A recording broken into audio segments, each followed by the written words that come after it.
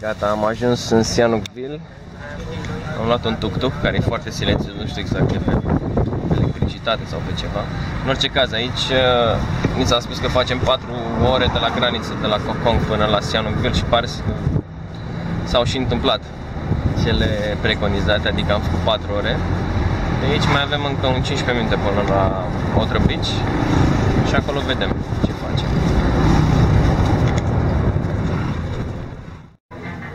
Am ajuns la Sihanoukville, ne-am cazat la Wish You Were Here, un bar foarte mișto care are și căsuțe deasupra.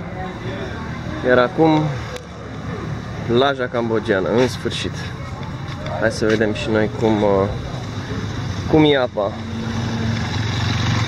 Strada hmm, nu e chiar atât de prietenoasă, dat fiind faptul că sunt multe dărâmături, dar uh, avem încredere în insulele care ne așteaptă și ele pe deasupra. Așa arată plaja noastră cambogiană. Nisipul mult, mult mai fin decât uh, ce avem în Thailanda sau ce am întâlnit noi până acum în Thailanda. Iar încolo sunt uh, patru insule pe care cred că o să le vizităm mâine. La două o să facem și snorkeling. Și totul cu 12 dolari plus 5 dacă vrem și prânzul asigurat de către băieții care ne-au abordat pe plajă. Un uh, băiat italian, Pietro ne-a adus la cunoștință de oferta asta.